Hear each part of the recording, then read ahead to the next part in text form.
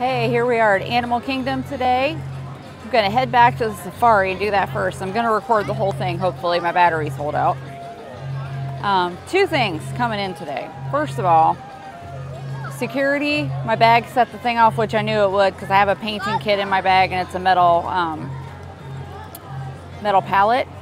But second, I was in the line and you know, there was a lady a few people ahead of me because same reason her bag set something off. But they not only emptied her bag and scanned her,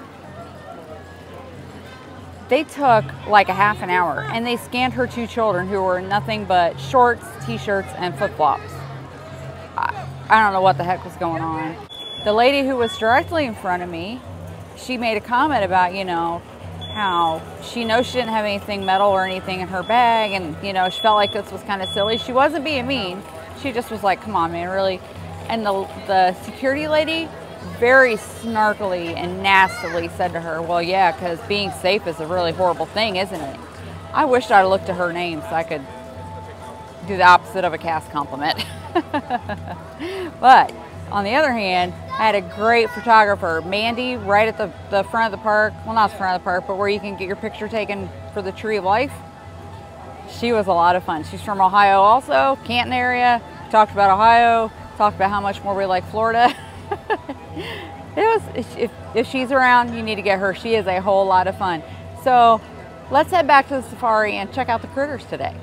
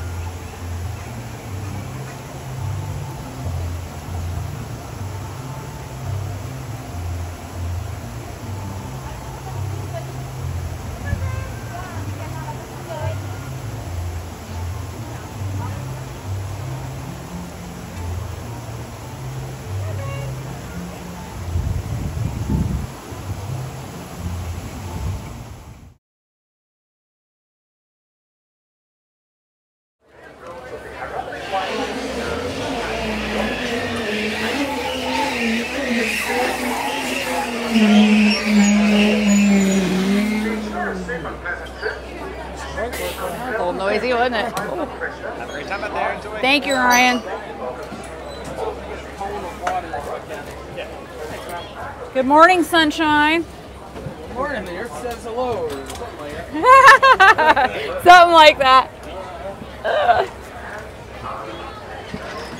Yeah, remember friends on the right, watch the hands around, feel like we're gonna slide shut. There we go. Nice and wrapped. I mean, safe. Yeah, safe. Yeah, well, now I'm over at the dock right above your head, there's an animal spotting sheet from some of the animals you should be able to see out there today. May not be able to see every one of them asleep in their migration habits, but we usually have pretty good luck.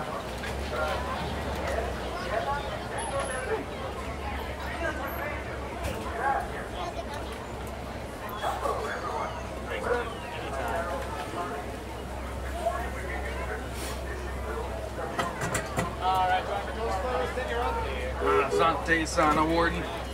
And as I say here in Harambe twende, that means let's go. Let's go. And Jambo, everybody, welcome aboard. Welcome to Kilimanjaro Safaris. I'll be your safari driver today. My name is Gray, short for Gray, long for Cup. Uh, a couple real quick safety reminders. We'll get out there on the reserve. Make sure to keep your hands, on, feet, legs on the side of the vehicle at all times. Make sure I was remaining seated throughout the entire safari. If you lose anything out of the reserve today, there's no real need to panic. Raise your hand in the air, give a good wave back and forth. Don't worry, I'll be able to see you and then say goodbye to the item. I'm not stopping. uh, we're just gonna hang out here for a sec. That all clear. Go ahead on in. There it is. uh, anybody's first time?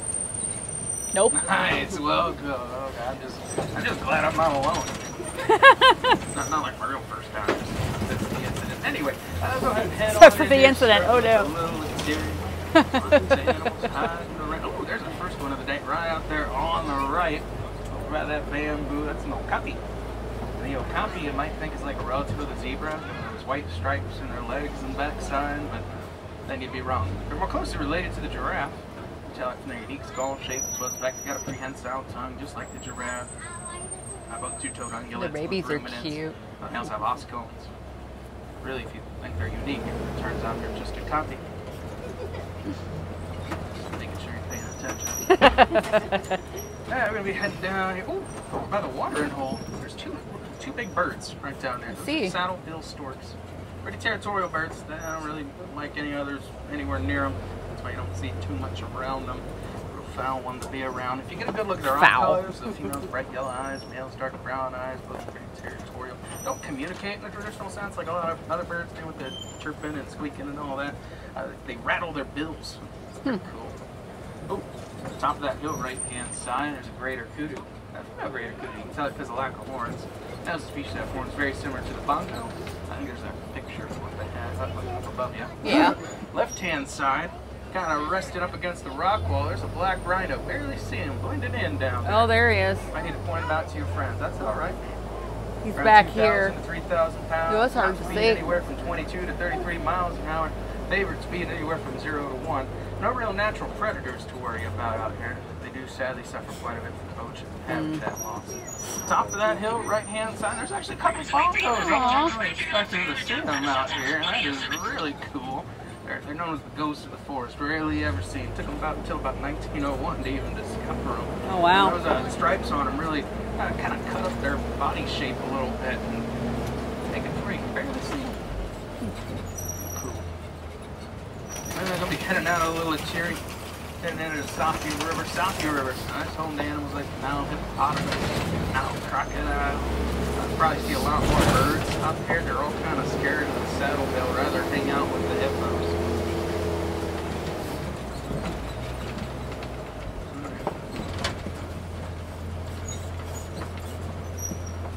Coming up on the edge of River.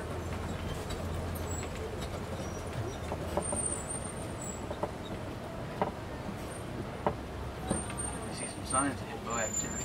And a lot of that stuff floating on top of the water up ahead, and that's uh, hippo dung. Lovely. Great indicator of hippo activity, you know. now the uh, birds out there with the real long bill, those pink-backed pelicans, get the name for the coloration that showing up on their back during mating season. Uh, when they're doing their little bit of preening and cleaning out the old dead feathers when they lift up their wings, you might see some of that pinkness down there. Colonial nesters down in flocks up to 500 members. Ooh, out there on the left. Oh, there's actually Oh, one there right he next is. to us. I was looking at that one way back there. it's one of the smaller hippos. Not just cool, pretty hip, yo. Uh, if you get a good look at their uh, ears, eyes, and nostrils, you know, it's pretty much all in the same plane. Their body mostly submerged while still seeing, hearing, and smelling. That's pretty cool. Crocodiles got something similar going on. They really swim down there, just kind of sink to the bottom of their bed, walk wherever they gotta go. Look out here on the left over the rail, and you'll be able to see that little floaty hippos that we got talked about beforehand. Oh, there they They're sleeping Sleeping. That natural little reflex lets them come back up for air about every 8 to 10 minutes. Ooh, Big waterfall just behind it. There's your some crocs. really, uh, pretty big Nile crocodile. There's some of the largest, not like the largest. See the Nile crocodile is about 15 foot long, 500, 600 pounds. Uh, the largest ever recorded, about 1,000 pounds, 20 foot long. The actual largest crocodile, the uh, saltwater crocodile, largest ever recorded, about 2,000 pounds.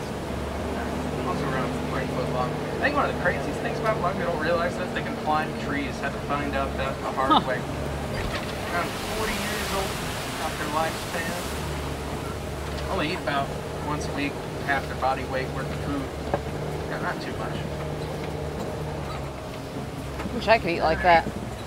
Back through the forest here, sort of over there to the savannah, a lot of tall grass, just a big baobab tree coming up on the right.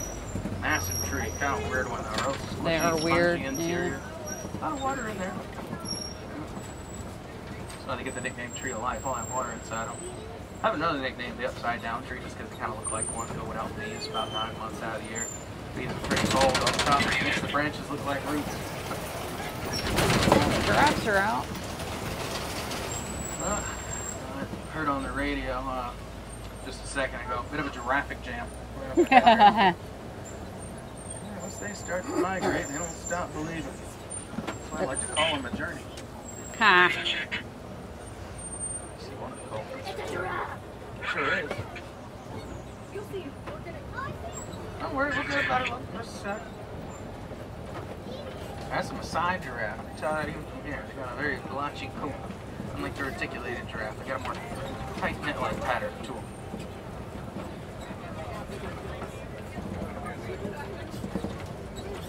There we go. We're getting there now. Biggest one out here right now, about 17 foot, close to 3,000 pounds. They only eat around 50 pounds of food a day, each one of them. Look, Foot yeah, long, it's so cute. A little bit of a lack of depth perception, as you can see. Don't worry, you'll get it.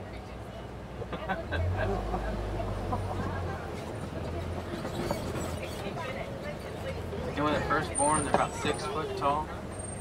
Endure about a six foot drop straight to the ground. That's what first welcomes them into the world. About an hour afterwards, already able to run around, keep up with the herd and everything. Definitely helps evade predation when they're uh, little ones. There's actually a little zebra down there past the tall grass, less than a year old. So Oh, yeah, last year's baby. They can tell each other apart just based on their stripe pattern, like a little fingerprint. Oh, left hand side, behind the cave, by that tall grass. You see, there's three patches of tall grass. There's a little Mhm. ear moving around. That's the ear of a little African wild dog. See him over there? A little bit of a tail went by too. I know he's kind of in a tight spot. I see another one up ahead. Too much time here, unfortunately. Packs of 5, 15. Most voracious predator out here. 85, 95% success rate when it comes to them. pretty much never miss. Then we see some sable antelope Yeah. springbok. sable antelope, a bit larger, dark brown coloration. They're so Anytime pretty. they feel threatened, they'll charge wherever's threatening them. Springbok, and they'll run away.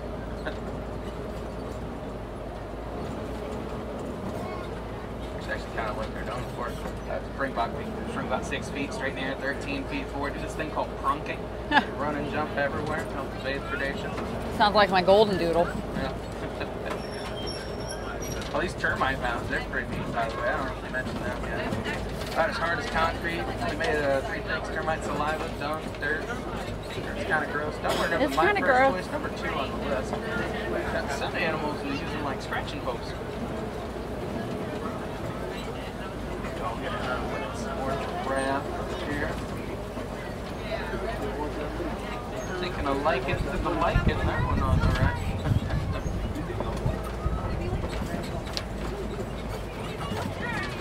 One friend here, still. Well, he's determined anyway. Oh yeah. Aw. Now this one up there, they're, they're just chewing on their cut. That's regurgitated plant material stuff you ate five or ten minutes ago. Gives another go around. Pretty much all the ruminants do that. Oh, here's an Anticoli coming up on the right. These guys are Close cool. 2,000 pounds. Now 50 inches tall, give or take. Massive horns. Yeah, you think they'd be pretty heavy. They're uh, mostly hollow inside, just the horns. The rest of the cow's pretty solid. Honeycomb structure in there. Helps support a little flow through that. Look at the radiator.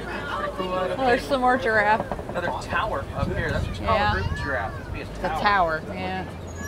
And a little further up past the tower, to the right there, there's some white-bearded wildebeest, very strong herd mentality with them. Participating in some of the largest migrations on the planet, last anywhere from 500 to 1,000 miles. This is the one, 1.5, you know. Looks like one's gonna be uh, migrating across the road. Oh, they might all be doing that. Yeah. The other way. they got the right of way. Might be waiting for me to stop. You stop for you, buddy? No? Oh, okay. You're just gonna go that way. Alright. Changed his mind. oh, thought he was gonna change his mind. oh, got one left in the road. No, I should have.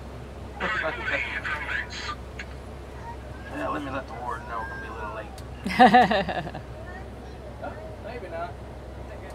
He's looking at you.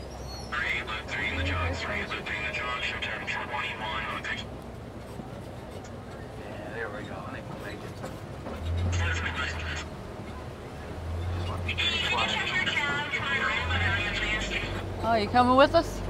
Looks like it. Alright. Alright, heading into some elephant territory. Largest elephant out here around 12,500 pounds. 12 foot at the shoulder. You definitely know when you see him. Wow. I'm a reference canopy above your head so far. Uh, that's about 12 foot on the ground.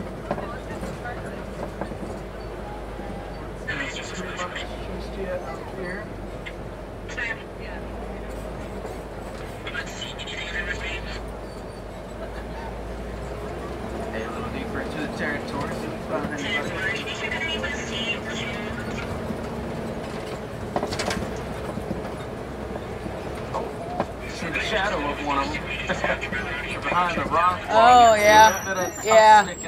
Sticking out, a little bit of ear. That looks to be one of the smaller males. We don't spend so much time in this area. Gonna see if we can get a better look for him. Move his ears back and forth like that. That is ear advantage. Cool. Increases your body temperature 15 to 20 degrees. Well, I can call it air conditioning. This is just me. We're gonna line this up just right. There we go. Don't worry about that.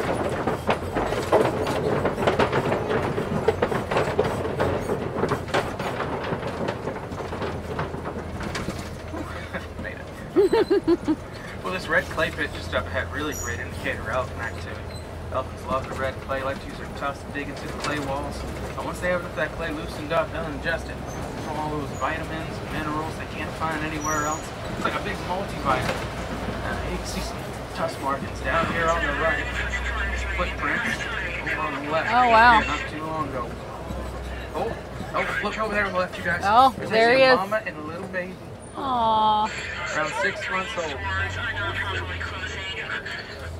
22 month long gestation period. Wow. The firstborn, around 200 pounds. It's a long time to be pregnant. Oh, yeah. Shirt above, dirt in the back, stems for sunblock, all that is.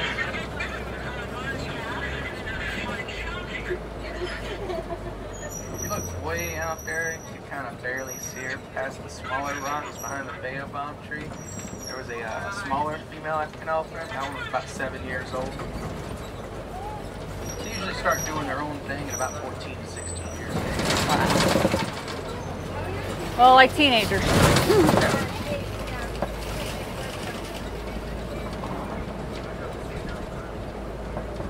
the rest of the herd just up ahead.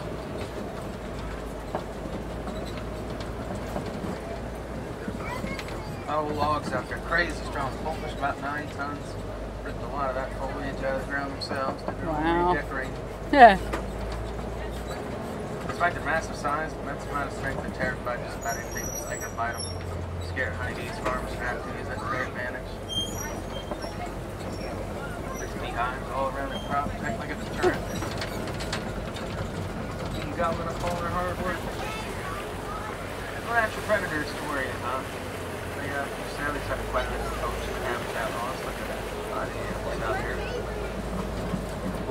Flamboyant. Flamingo. Out in the next watering hole what you call a group of flamingo. Now, these are greater flamingo. They're the largest and least pink of all the flamingos. Some down there got a little bit of grayness to the top of their heads and necks. Those are juveniles in the 18 to 20 month range, give or take. The rest pretty much full grown. But if you ever see any of those that are like dark brown and really short, those are ducks. There's a couple out there standing up on one leg, as flamingos do. Get a scientific bit as to why they do that. Best go and guess conserve energy, low center of gravity. Allows them to stay like that for extended period of time. Conserve energy. Another guess might be uh, some form of thermal regulation. Uh, temperature up just right. Into the east savannah. Heard there were some signs of rhino activity. That is a really good sign of rhino activity out there on the left Just Snoozing. when you can see them. Those are white rhinos. Nap time. not from the coloration, but from the mispronunciation. The Afrikaans word fight means wide because the real wide jawline. Might notice a subtle difference if you got a better looking black rhino and a little Terry. I know we didn't, I'll explain it to you real quick. Got black rhinos, they have a more pointy, triangular upper lip. And they use kind of like a little finger to grasp at individual bits of foliage. White rhino, much more elongated, they scoop up everything all at once. Huh. That's not a whole lot when it comes to grazing. I need to eat about double what the black rhinos eat, closer to 200 pounds of food a day. Oh, wow. Makes sense because full grown one, about 5,000, 6,000 pounds. Black rhino, about 2,000, 3,000 pounds. Around 21,000 of them left in the world, unfortunately. Uh, unfortunately, though, the numbers are going up thanks to conservation efforts. Oh, left-hand side, top of the hill. You can barely see him. There's a little cheetah up there, though. See, just past that sunny spot on the top of the hill. Laying out there.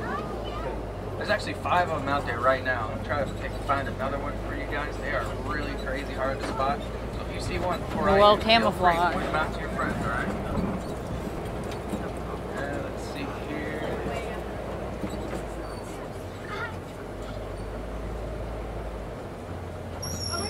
Oh, yep, right there. See the little head popping up in the middle there? Right there. Zero to 60 in about three seconds. Top uh, speed about 65, 70 miles an hour. We can't maintain that speed for very long, only about 10, 15 seconds. After that, they're exhausted. Claws can't fully retract. Dark circles around their eyes, absorb a lot of excess light, natural little pairs, shades. They're pretty cool cats. oh, get ready. Look on this left hand side, past these trees, but before that bush up there. Oh, there he is. There's a lion. Look at him taking a nap. takes Pride in what he does. Finishing up a cat nap. They only sleep about 16 to 20 hours a day. Nocturnal and everything. I Thought I saw a little ear sticking up back there. Probably the female lion. He is Oh, it snoozing. Yep. She's the one to do all the hunting. Doesn't go chasing after anything. Much rather sit, wait, stalk one out. It's really energy efficient. A couple of ostriches down there on the right. You want to get a good look at them. You do not want them ostracized. It's the only animal that scares your safari driver a little bit. The ostrich. I wouldn't want to tangle with one. Oh, you know. Mm-mm. About six foot tall, close to 200 pounds, inch long talons that file on their feet. Top speed on an ostrich, about 35 to 45 miles an Oh, hour. wow. Top speed on the truck, about five.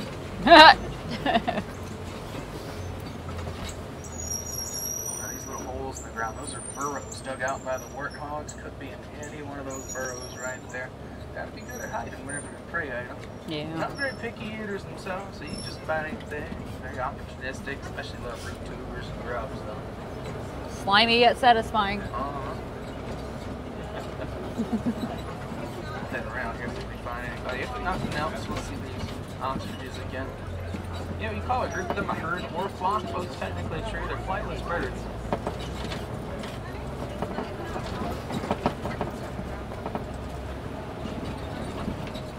Too much left with the warthogs, but we will see some ostrich eggs down there. on the Oh, is right. there a nest? Oh. clutch of eggs. Wherever one lays an egg, they'll all lay their egg in about the same spot. Just keep track of them. Females tend to wander off after laying. The males drop to look after the nest. No males on uh, ostriches on the reserve, so the eggs just kind of hang out there. Still work. They're actually gonna be heading towards the warden's post right now. Nearing the end of our journey. Warden's looking after these There's little the. Nigerian dwarf goats. They're pretty cool little goats. A lot of clean work out here, you just about anything. See meat poison ivy, poison oak, briar bushes, real woody plant material. Arguably one of the cutest animals on the reserve, definitely one of the friendliest.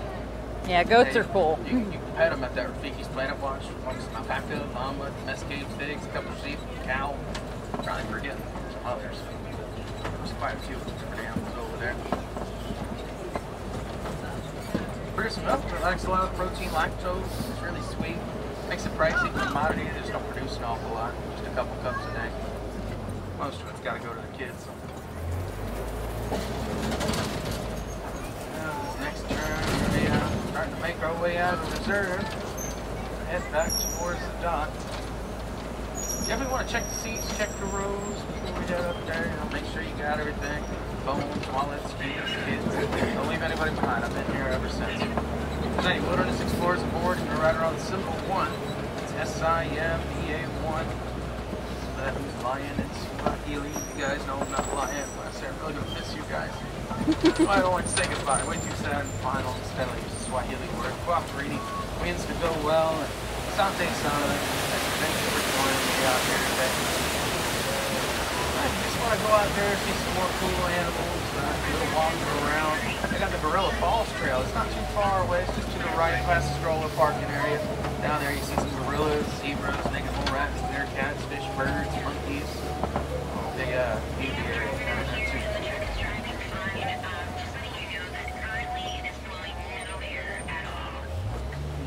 Oh, another trail, Maharaja Jungle Trek. That's over in Asia.